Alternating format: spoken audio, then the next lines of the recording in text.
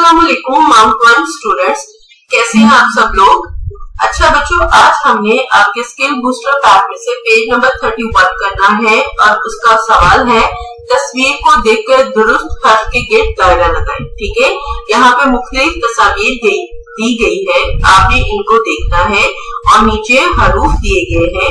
तस्वीर को देखे, यानी कि उसका जो शुरू वाला स्टार्टिंग वाली जो साउंड है, या जिससे वो हर जिस हर्फ से वो तस्वीर बनती है, उस हर्फ के गिर्द आपने दायरा लगाना है। सबसे पहले क्या है? खरगोश। जी, खरगोश किससे बनता है? खे से, दाल से। दाल से। जी, खे खरगोश। तो आप क्या करेंगे? खे के गिर्द जैसे छोटा सा दायरा लगा देंगे। उसके बाद है टोपी। ये क्या है? टोपी। टोपी किससे बनता है? ए से, ते से या टे से? जी टे टोपी, क्या होता है? टे टोपी। उसके बाद है जहाज़। जहाज़ का कौन सा हर्फ होता है? टे से, जीम। जी, जीम जहाज़ होता है।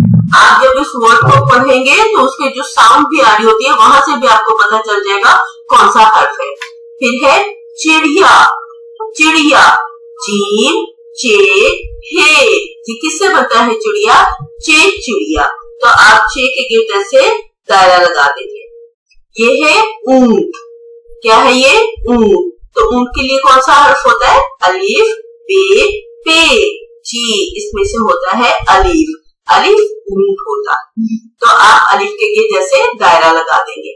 फिर ये क्या है? ये है समर। यानी कि मुख्तलिफ़ फल जब होते इकट्ठे तो उनको हम क्या बोलते हैं? समर। अब समर के लिए कौन सा हर्फ होता है? ए से जीम जी क्या होता है? से समर से समर तो आप से के गिर्द ऐसे दायरा लगा देंगे। ठीक है बच्चों? इस तरह आपने पहले हर्फ के गिर्द दायरा लगाना है और उसके बाद दी गई तस्वीर में रंग भी भरने हैं। यहाँ पे देखिए, मैंने आपके लिए पहले से रंग भरे हैं। आपने भी ऐसे ही अच्छे अच्छे इन तस्वीरों में रंग भरने हैं। आपके स्किल बूस्टर पैक का पेज नंबर थर्टी वन यानी के इकतीस है। शुक्रिया।